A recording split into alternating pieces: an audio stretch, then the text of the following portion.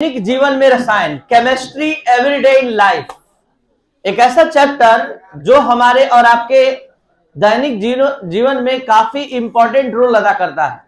जैसे आप सभी स्टूडेंट जब अलेवेंथ क्लास में some basic concept of chemistry रसायन विज्ञान की मूल अवधारणा पढ़े थे तो वहाँ इंपॉर्टेंस ऑफ़ केमिस्ट्री बताया गया था इंपॉर्टेंस ऑफ़ केमिस्ट्री के अंतर्गत में आप एग्रीकल्चर के क्षेत्र में इस केमिस्ट्री के कंपाउंड का फर्टिलाइजर्स के रूप में यूज़ करते हैं।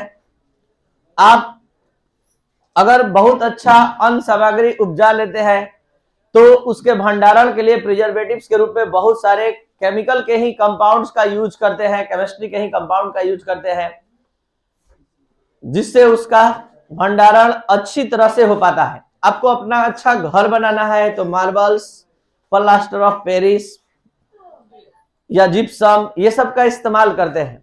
आपको युद्ध करना है वारफेयर सामग्री के रूप में, आपको डायनामाइट आरडीएक्स टीएनटी का इस्तेमाल करना है तो वो भी केमिस्ट्री का ही कंपाउंड है। यहाँ तक कि कंप्यूटर वर्ल्ड में मोबाइल के दुनिया में चिप्स जो बोला जाता है चिप्स वो सिलिकॉन का बना होता है। उसके बाद जो मतलब अगर हम बात करें आपके ट्रांसपोर्टेशन का, यातायात के साधन का तो वहाँ भी आप इसका यूज़ फ्यूल्स के रूप में, यानी हाइड्रोकार्बन के रूप में पेट्रोल डीजल जो है हाइड्रोकार्बन्स है, वहाँ भी देख सकते हैं। अब हम बात करते हैं आपके स्वास्थ्य का मेडिसिन के क्षेत्र में। आप जो भी टैबलेट कैप्सूल सिरप इंजेक्शन लेते हैं, अपने आप को स्वस्थ रखने के लिए हेल्दी रखने के लिए तो ये सब केमिस्ट्री के ही कंपाउंड्स हैं। तो इसी से रिलेटेड है हमारा ये चैप्टर दैनिक जीवन में रसायन केमिस्ट्री एवरीडे इन लाइफ जिसका फ़र्स्ट टॉपिक है मेडिसिन औषधि। क्या होता है? समझा जाए। वे रासायनिक पदार्थ जो मानव शरीर या जंतुओं पर रोग की चिकित्सा या दर्द निवारण या सूक्ष्म जीवों की वृद्धि के लिए इस्तेमाल किया जाता है, औषधि या मेडिसिन कहलाता है। इस मेडिसिन में सबसे पहला नाम है पुत्तिरोधी एंटीसेप्टिक वे औषधियाँ जो सूक्ष्म जीवों के वृद्धि को रोक देती है, उसको कहते हैं हम एंटीसेप्टिक पुत्तिरोधी।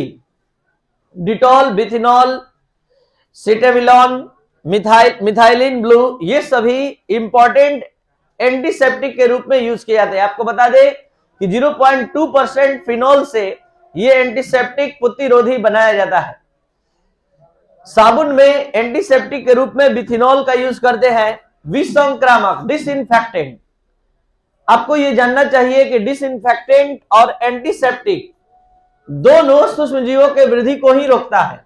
लेकिन दोनों में अंतर क्या है कि एक का आप यूज़ अपने बॉडी पर कर सकते हैं और एक का नहीं।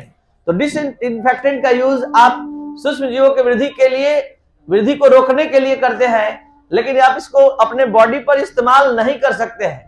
तो ये डिसइंफेक्टेंट है तो वे रासायनिक पदार्थ जो सूक्ष्म जीवों को, वृद्धि को पूर्ण रूप से रोकने योग्य या खत्म करने योग्य होते हैं प्रतिसंक्रामक कहलाते हैं प्रतिसंक्रामक कहलाते हैं। ये जीवित उत्तक के लिए विषैले होते हैं, इसलिए आप डायरेक्ट डिसइंफेक्टेंट का यूज़ नहीं कर सकते हैं अपने बॉडी पर। ये फर्श, शौचालय, उपकरण एवं कपड़ों या कीटाणु, कपड़ों को कीटाणु रहित करते हैं वन परसेंट फिनॉल से डिसइंफेक्टेंट का निर्माण होता है। वन परसेंट फिनॉल यूज़ करके डिसइंफेक्टेंट बनता है और 0.2 परसेंट फिनॉल से एंटीसेप्टिक पुत्तिरोधी तैयार किया जाता है। नेक्स्ट मेडिसिन के रूप में है एनाल्जेसिक। एनाल्जेसिक वे सभी औषधियाँ जो दर्द निवारण में यूज़ की जाती है।